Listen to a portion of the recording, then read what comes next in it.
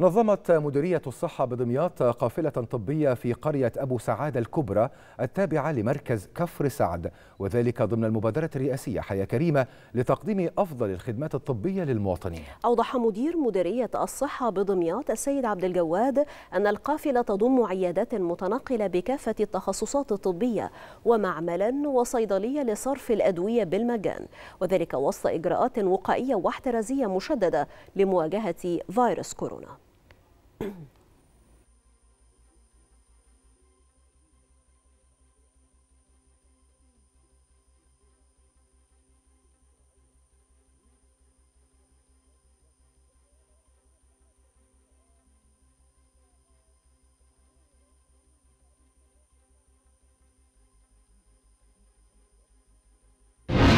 المبادرة النهاردة فيها 12 عيادة.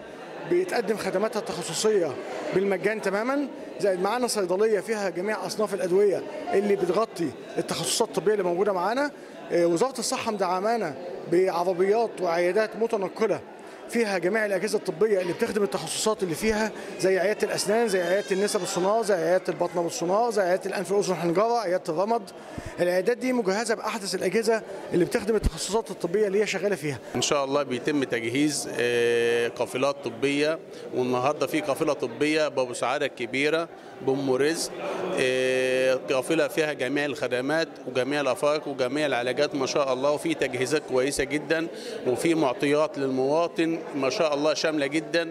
بيطلع المواطن هنا بيدخل المواطن ما شاء الله بيطلع ما شاء الله كده بالخدمات اللي موجوده في القافلة القافلة الطبية بتساعد المواطن على حتى تجهيز حالته أو في في بيبقى في تحويلات كمان. هنا اللي أنا عرفته اللي في تحويلات موجودة في في القافلة الطبية بيتم تحويلها للمستشفيات العام كتجهيزات عمليات وما شابه ذلك.